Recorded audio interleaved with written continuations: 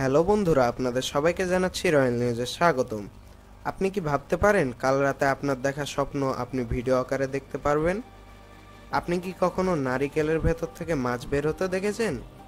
এরকমই কিছু মজার তথ্য নিয়ে রয়্যাল নিউজের আজকের এই পর্ব।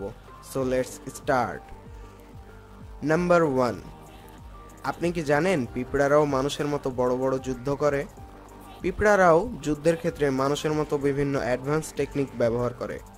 প্রথমে তারা গোয়েন্দা পাঠিয়ে বিরোধী দলের লোকেশন এবং ম্যাপ খুঁজে বের করে এবং যখন যুদ্ধ শুরু হয়ে যায়, তখন প্রথমে দুর্বল পিঁপড়াকে পাঠানো হয়, যাতে শক্তিশালী পিঁপড়া হঠাৎ করেই হামলা করতে পারে।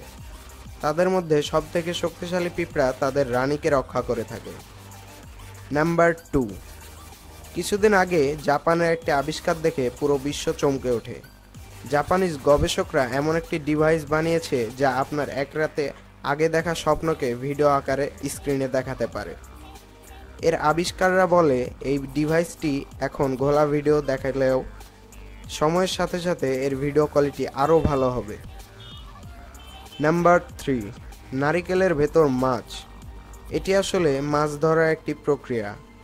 প্রথমে নারিকেলের মধ্যে ছিদ্র করে এতে কেঁচো কিংবা অন্য কিছু ঢুকিয়ে দেওয়া হয়, যাতে মাছেরা প্রলোভিত হয়। তারপর সেটিকে একদিনের জন্য পানিতে রেখে দেওয়া হয়। পরের দিন নারিকেলের ভেতর অনেকগুলো মাছ আটকা পড়ে যায়। Number four.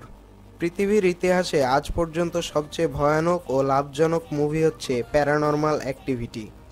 এই মুভিটি তৈরি হয়েছিল মাত্র দশ লক্ষ টাকায়, কিন্তু এই মুভির মাধ্যমে আয় হয়েছিল প্রায় তেরোশো কোটি টাকা।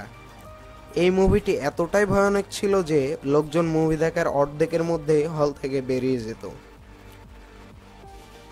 নাম্বার ফাইভ প্রাচীনকালে যুদ্ধের সময় রোমানের লোকেরা শুকরকে ব্যবহার করত, কারণ শুকরের আওয়াজ বিরোধী দলের হাতি ছটফট করত, যার ফলে সেগুলো অনিয়ন্ত্রিত হয়ে নিজেদের সেনাকে পিষে ফেলে, যার ফলে রোমানরা সহজেই যুদ্ধে জয়লাভ করতে পারে।